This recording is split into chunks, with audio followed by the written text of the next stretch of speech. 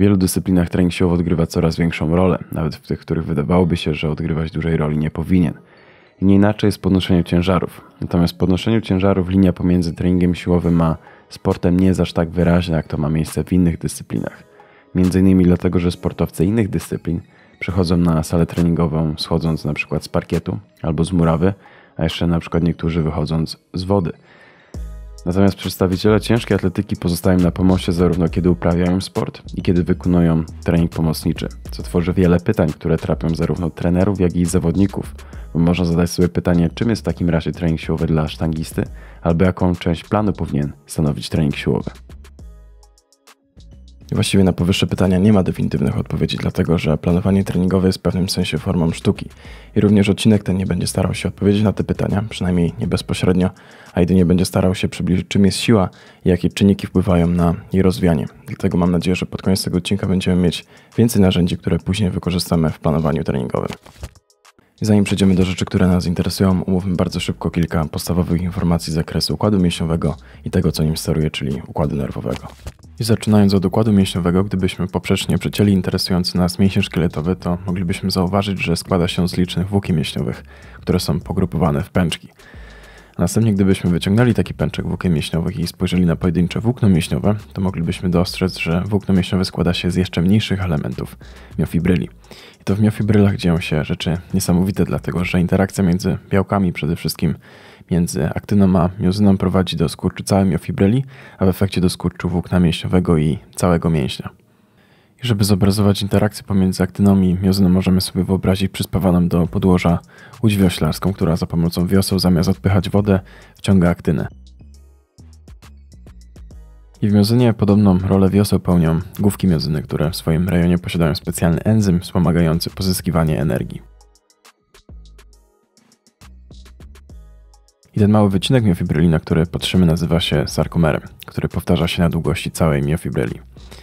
I teraz możemy sobie wyobrazić, że skurcz w obrębie pojedynczych sarkomerów będzie prowadził do skurczu całej miofibryli, a w rezultacie łuki mięśniowych i całego mięśnia.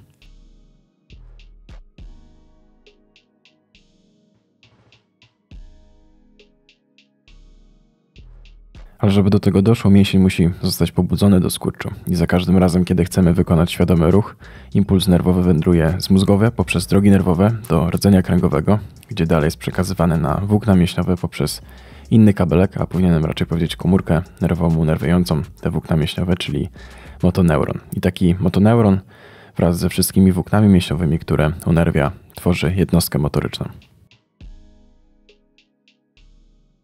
Teraz, kiedy mamy bardzo podstawowe informacje ze sobą, zdefiniujmy to, na czym dzisiaj się skupimy, czyli siłę. I siła poza kontekstem sportowym jest łatwa do zdefiniowania. Na przykład, kiedy pojawiają nam się problemy albo przeszkody, bardzo często używamy wyrażenia jestem silny, poradzę sobie, co wskazywałoby na to, że siła jest tym, co pomaga w pokonywaniu przeszkód. I nie inaczej jest w sporcie, gdzie sportowcy zamiast pokonywania przeszkód pokonują opór. Dlatego siłę moglibyśmy zdefiniować jako naszą zdolność, albo zdolność naszego ciała, albo jeszcze bardziej precyzyjnie zdolność układu nerwowo-mięśniowego do pokonywania zewnętrznego oporu. Zacznijmy od pierwszej części tej definicji, czyli od układu nerwowego, który odgrywa kluczową rolę w rozwijaniu siły, co po części tłumaczy, dlaczego niektórzy ciężarowcy, pomimo rywalizowania w tej samej kategorii wagowej przez wiele lat, są w stanie nieustannie poprawiać wyniki siłowe, albo dlaczego, kiedy uczymy się nowych ruchów w treningu siłowym, nasza siła wzrasta nawet serii na serię, czego przecież nie można tłumaczyć rozrostem mięśni. Pierwszym mechanizmem wpływającym na rozwijanie siły jest częstotliwość pobudzenia. I wyobraźmy sobie teraz jednostkę motoryczną składającą się tylko z pojedynczego włókna mięśniowego i oczywiście motoneuronu, który je unerwia. Wspomóżmy się również wykresem, na którym umieścimy siłę skurczu naszego włókna mięśniowego i czas. I teraz, kiedy pobudzimy włókno mięśniowe pojedynczym impulsem, otrzymamy jakąś siłę skurczu. Jeśli w jakimś odstępie czasu po raz kolejny pobudzimy nasze włókno mięśniowe, to ponownie otrzymamy jakąś siłę skurczu. Ale teraz, zamiast pobudzania naszego włókna mięśniowego w dużych odstępach czasowych, wygenerujemy impulsy z dużo wyższą częstotliwością, otrzymamy większą siłę skurczu, dlatego że dojdzie do sumowania skurczów. Taki skurcz nazywamy skurczem tężcowym, ale niezupełnym. Dlaczego niezupełnym? Dlatego, że do skurczu tężcowego zupełnego doszłoby w przypadku, gdybyśmy wysyłali pobudzenia z maksymalną częstotliwością. I taka zdolność układu nerwowego do generowania pobudzenia o różnej częstotliwości pozwala na stopniowanie siły, co jest bardzo Ważne dlatego, że tą samą ręką możemy wykonywać precyzyjne ruchy, ale także te dynamiczne. Na przykład podczas wykonywania spokojnych ruchów częstotliwość pobudzania może wynosić od 5 do 8 impulsów na sekundę. Podczas wykonywania bardzo dynamicznych ruchów częstotliwość pobudzania może wynosić od 100 do 200 impulsów na sekundę. I oczywiście poza takim stopniowaniem siły Częstotliwość pobudzania jest tym mechanizmem, który pozwala na adaptację w treningu siłowym, czego wykorzystanie można znaleźć w metodach treningowych, które stosujemy, gdzie przemieszczamy duże obciążenia, a czasami nawet w reakcji na wskazówki trenera przemieszczamy te obciążenia zamiarem dźwigania możliwie jak najszybciej, dlatego że nawet zamiar dźwigania możliwie jak najszybciej w pewnym stopniu zmienia częstotliwość pobudzania. I drugim mechanizmem układu nerwowego wpływającym na rozwijanie sił jest rekrutacja. I w naszym poprzednim przykładzie podczas omawiania częstotliwości nasz motoneuron unerwiał tylko pojedyncze włókno mięśniowe, ale w rzeczywistości ilość unerwianych włókien znacząco się różni, w której widać pewną zależność. Na przykład w mięśniach odpowiedzialnych za precyzyjne ruchy na motoneuron przypada mała ilość włókien mięśniowych.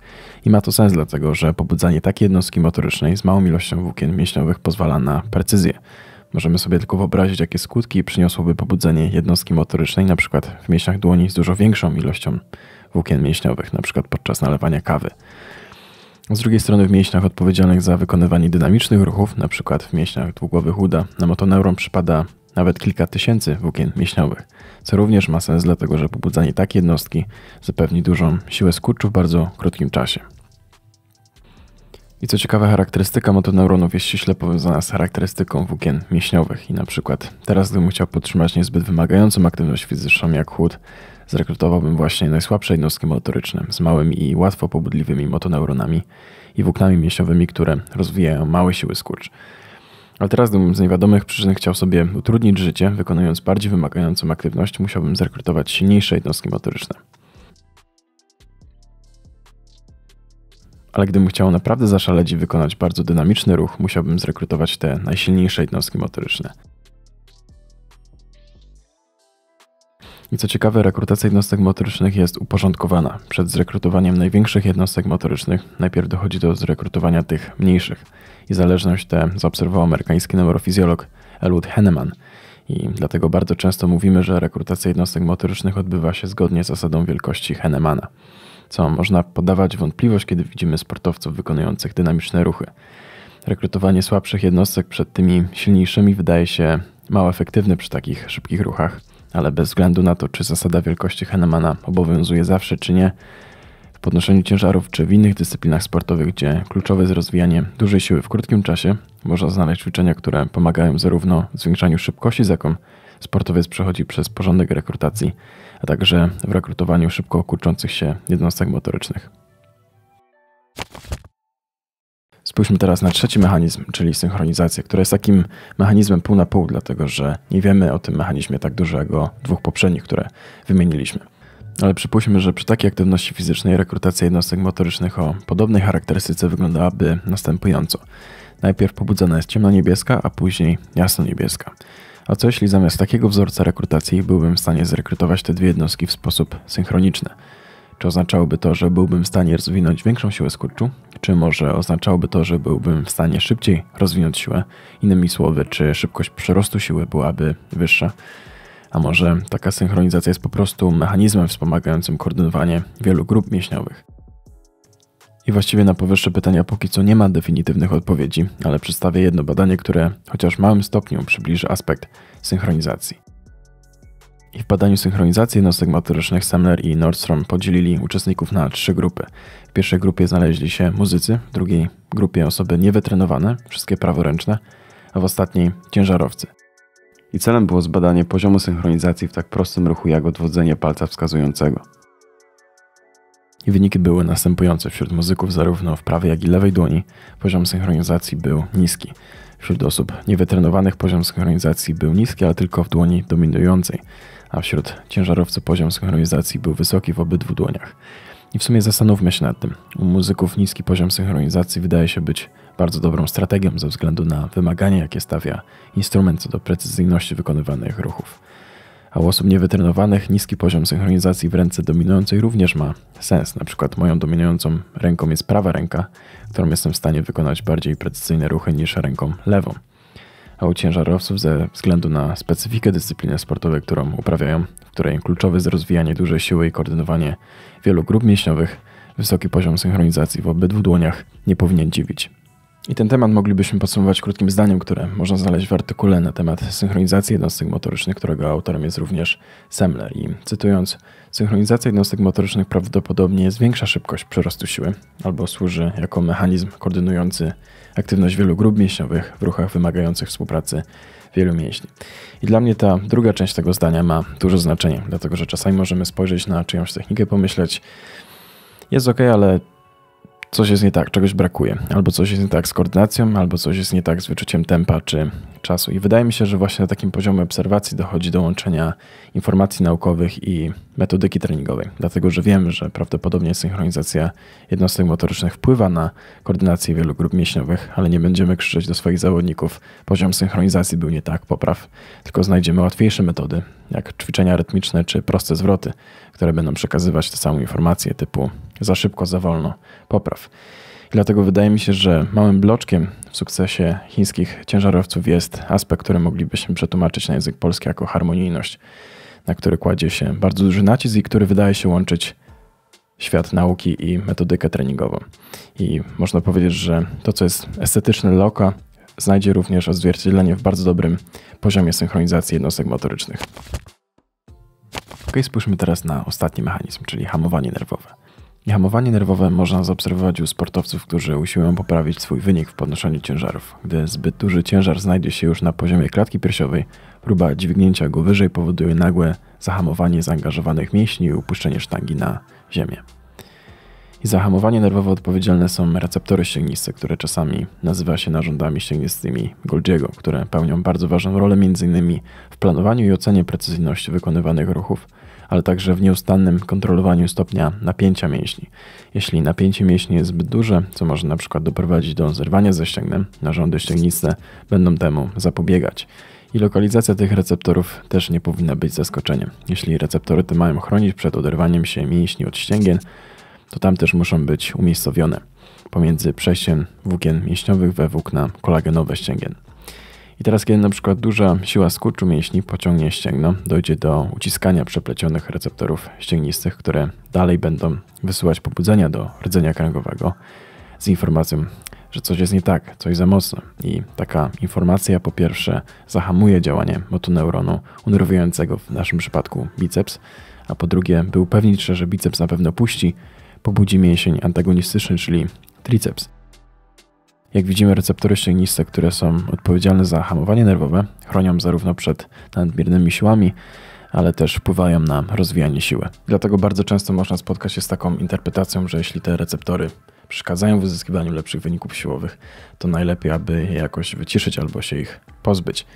Ale pomyślmy o tym z drugiej strony. Nawet jeśli u osoby początkującej występuje nadmierna aktywność tych receptorów, to tylko po to, by zmniejszyć ryzyko urazów. Dlatego nie chcę, żeby ktokolwiek, kto dopiero zaczyna, po usłyszeniu takiej informacji, zaczął wykonywać ćwierćpisiady z 300-kilogramową sztangą, tylko po to, by zmniejszyć aktywność tych receptorów. Na samym początku najważniejsze jest systematyczne i stopniowe zwiększanie obciążenia, które z czasem doprowadzi do szeroko pojętej adaptacji, m.in. w tych receptorach. Ale później, kiedy cały aparat ruchu będzie gotowy, to jak najbardziej można do swojego treningu wrzucać takie ćwiczenia.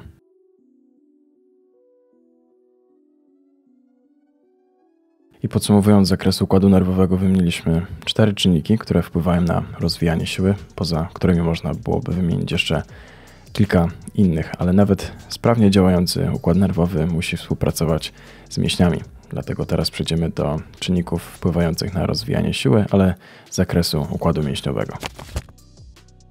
I zacznijmy od włókien mięśniowych. I typ włókien mięśniowych ma ogromny wpływ na możliwości rozwijania dużej siły skurczu mięśni. Jesteśmy tego świadomi, bo nawet w codziennych wyrażeniach bardzo często można usłyszeć takie zdanie: jest szybki albo jest silny, na pewno ma szybkie włókna. I nie jest niespodzianką, że typ włókien mięśniowych jest ściśle powiązany z charakterystyką dyscypliny sportowej.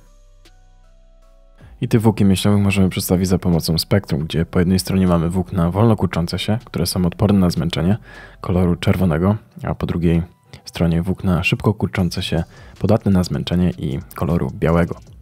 I czasami można się pomylić i nazwać włókna wolno kurczące się białymi, a szybko kurczące czerwonymi. Dlatego innym sposobem podziału włókien jest klasyfikacja na podstawie typów miozyny. I na przykład we włóknach wolno kurczących się główki miozyny nie spieszą się z rozkładaniem ATP, a ich uderzenie jest stosunkowo wolne i słabe. I takie cechy pozwalają na wykorzystywanie przemian tlenowych. Ale żeby korzystać z przemian tlenowych, takie włókna muszą sobie zapewnić dużą dostawę tlenu, innymi poprzez zwiększanie poziomu kapilaryzacji. I dlatego taki większy przepływ krwi na włóknie mięśniowym, które jest stosunkowo małe, będzie oddawać kolor czerwony.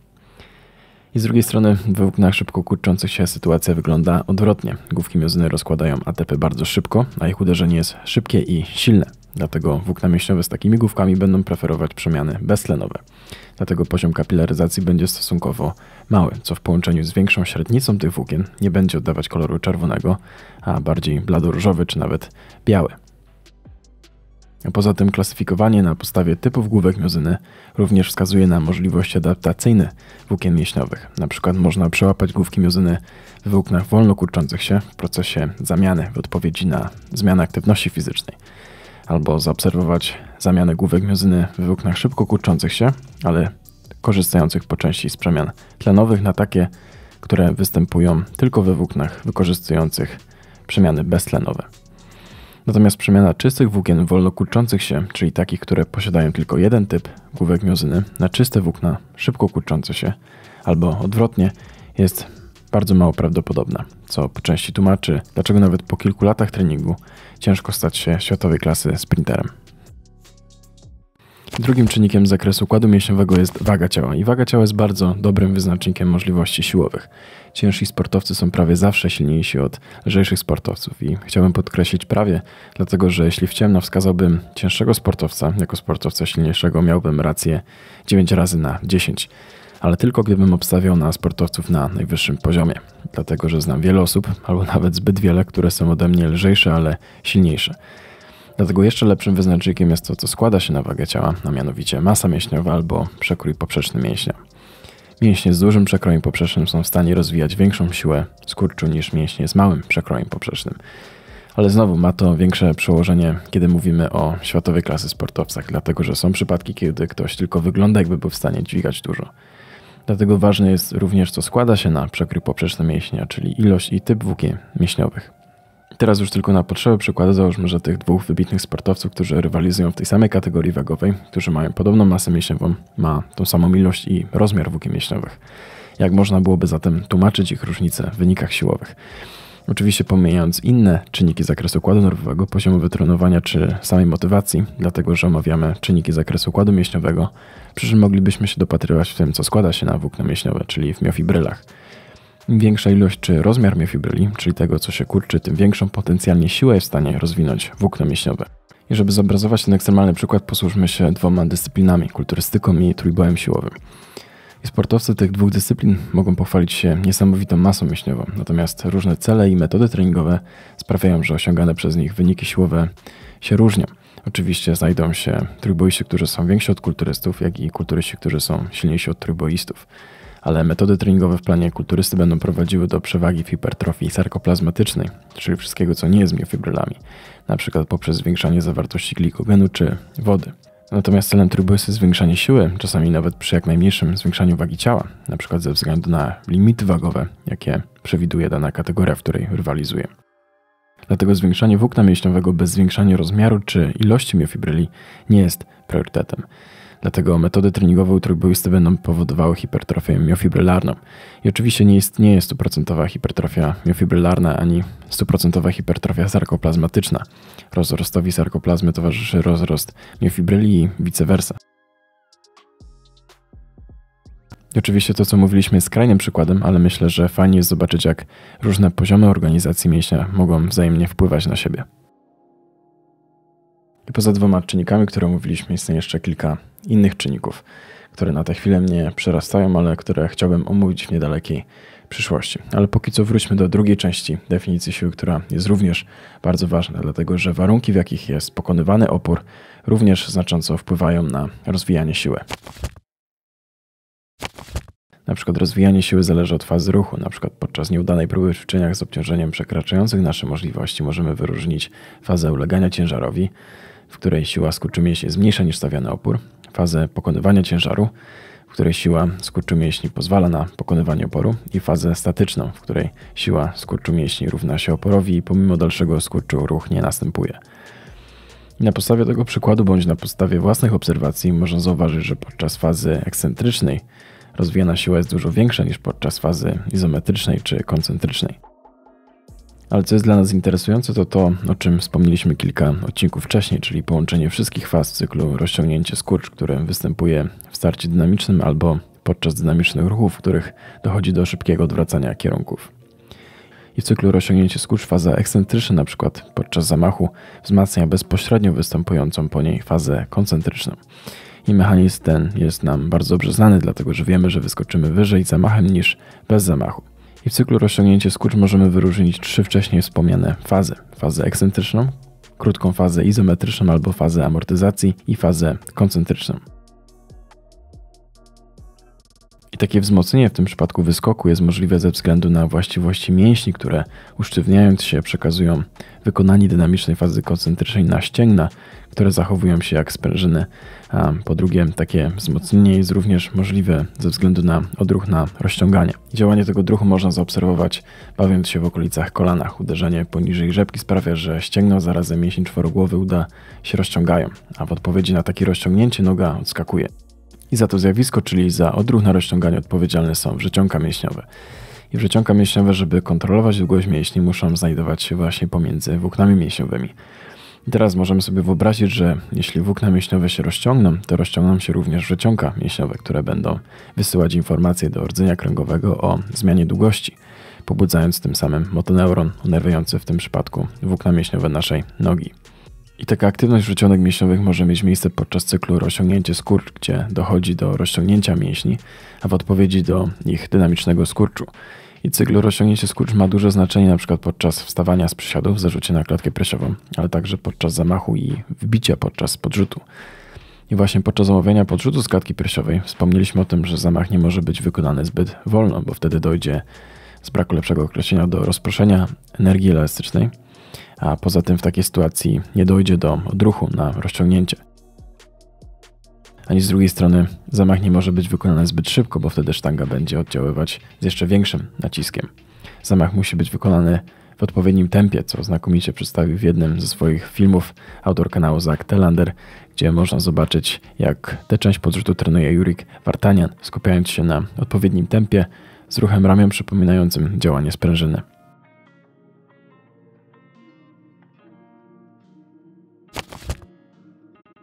Spójrzmy teraz na drugi czynnik, czyli czas. I na przykład czas na wykonanie ciężkiego martwego ciągu jest znacznie dłuższy niż na przykład na wykonanie rwania. I taka informacja ma duże znaczenie i jest szczególnie ważna przede wszystkim podczas planowania treningowego. Wspomóżmy się na chwilę wykresem, na którym umieścimy siłę i czas, a także wyniki siłowe dwóch zawodników, zawodnika A i zawodnika B. I na podstawie tych dwóch wyników jesteśmy w stanie śmiało stwierdzić, że zawodnik A jest silniejszy. Ale jeśli odsłonimy pomiary samego początku, to możemy zauważyć, że do pewnego momentu to zawodnik B jest silniejszy. I taka różnica w rozwijanej sile u tych zawodników prowadzi do prostej obserwacji. Jeśli zniesiemy ograniczenia czasowe na rozwijanie siły, np. w takim ćwiczeniu jak martwy ciąg, to zawodnik A będzie miał przewagę, dlatego że jego siła maksymalna jest większa. Natomiast jeśli nałożymy ograniczenia poprzez takie ruchy, jakie występują np. w biegu sprinterskim, np. w kontakcie z podłożem albo podczas fazy poderwania, to zawodnik B będzie miał przewagę, dlatego że jego przyrost siły albo siła eksplozywna jest większa niż u zawodnika A. Dlatego podczas planowania treningowego warto wziąć pod uwagę relację, jaka występuje pomiędzy siłą a czasem, dlatego że siła maksymalna nie zawsze jest rozwiązaniem. Na przykład jeśli rwanie czy podrzut są na niskim poziomie w porównaniu do ćwiczeń, w których nie występuje ograniczenie czasowe, na przykład w przysiadzie, to w takiej sytuacji warto skupić się na rozwijaniu siły eksplozywnej. A z drugiej strony, jeśli na przykład rwanie czy podrzut są na wysokim poziomie w porównaniu do na przykład do przysiadu, to w takiej sytuacji praca nad siłą maksymalną jak najbardziej ma sens. Ok, i ostatnim czynnikiem, który omówimy, który wpływa na rozwijanie siły jest prędkość. I pomiędzy siłą a prędkością istnieje pewna zależność, którą można przedstawić za pomocą tego przykładu. Z małym obciążeniem, kiedy rozwijamy małą siłę, poruszamy się szybko, a z dużym obciążeniem, kiedy rozwijamy dużą siłę, poruszamy się już wolniej.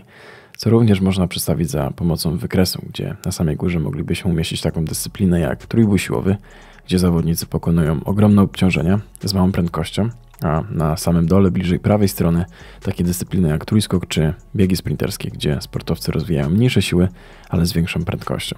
A gdzieś po środku moglibyśmy umieścić podnoszenie ciężarów, gdzie ważne jest rozwijanie zarówno dużej siły, jak i prędkości. I czasami łatwo skupić się na pierwszej części tego równania, czyli na zwiększaniu siły, zapominając o tym, jak kluczową rolę odgrywa prędkość. Jest na przykład bardzo kuszące, by poprawiać wyniki w ćwiczeniach siłowych, dlatego że ktoś, kto podnosi 200 kg w martwym ciągu, wyrwie więcej niż osoba, która w martwym ciągu podnosi tylko 100 kg. Ale taka relacja ma zastosowanie tylko do pewnego momentu, co znakomicie w swojej wypowiedzi ujął Max Eita w jednym z udzielonych wywiadów. Um, you guys know Anatoly Bondarchuk was or yeah. is. Mm-hmm. Um, he did this kind of research over a very long time for track and field, for the throws mm-hmm. in particular, uh, and had fantastic results. So a great example of dynamic correspondence and what what actually happens here is we take the bench press and the shot put. Now the dynamic correspondence between the shot put and or the bench press result and the shot put is a positive impact. There's a mm-hmm. positive correlation up to about 60 feet. Once mm-hmm. you get to 60 feet, an increase, a further increase in the bench press results does not have a positive impact on the distance you throw the shot, and in some cases, have a negative impact. We this isn't just a magical thing. We can really just step right. back and down and look at it and say, well, the reason why is probably that a couple things. One, increased volume devoted to bench pressing would detract from the volume you could do throwing the shot. Mm-hmm. Two, the speed of the bench press is not the same as the speed of the shot. Mm-hmm. Once general strength reaches a certain point, it no mm-hmm. longer has the ability to transfer to the shot because the mm-hmm. speed is not the same. Podobną relację można zauważyć w podnoszeniu ciężarów. Na przykład gdybym znacząco poprawił wynik w takim ćwiczeniu jak ciąg podrzutowy, na przykład z 200 na 300 kg, to na pewno znalazłoby to odzwierciedlenie w lepszym podrzucie ale trzeba pamiętać o tym, że w ciągu dnia mamy tylko 24 godziny i czas poświęcony na tak znaczącą poprawę w tym ćwiczeniu odciągnąłby mnie od pracy nad innymi aspektami, np. nad aspektem szybkościowym czy technicznym. A po drugie, ciężkie ciągi znacząco różnią się od podrzutu pod względem występujących pozycji, pod względem rekrutacji jednostek motorycznych, a także pod względem prędkości wykonywanego ruchu. I to jest małe podsumowanie tego, co omówiliśmy w dzisiejszym odcinku.